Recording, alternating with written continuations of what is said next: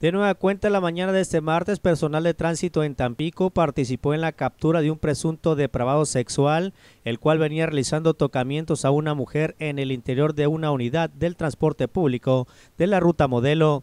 Según versión de los hechos por parte del oficial Manuel Chong Ramírez, la pasajera afectada y el chofer de la unidad de ruta solicitaron su apoyo cuando se trasladaban sobre la avenida Hidalgo a la altura de Liverpool deteniendo la unidad para explicar la queja y que el elemento de tránsito interviniera en este caso.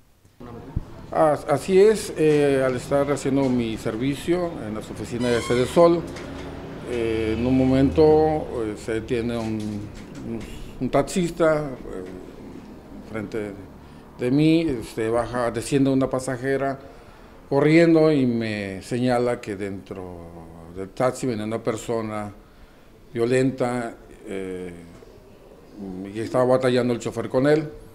El, operador me informa que esta persona eh, había haciendo, venía haciendo tocamientos a, una de sus pasajeras y, le había desgarrado su, su ropa.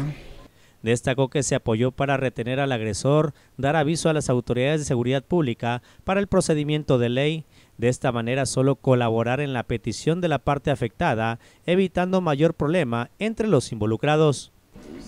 Opté por, eh, dadas los, graves señalamientos que se hacían, bueno, procedía a neutralizar a esta persona eh, y, bueno, pues atender también a la, a la parte ofendida, a la señora, eh, si era necesario solicitar la presencia de paramédicos para que la, atendieran.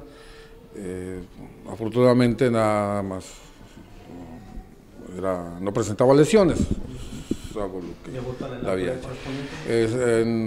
sí, procedía a solicitar el apoyo necesario, ¿verdad? Con imágenes de Edgar Mar para Noticieros Canal 26, Jesús Cabello.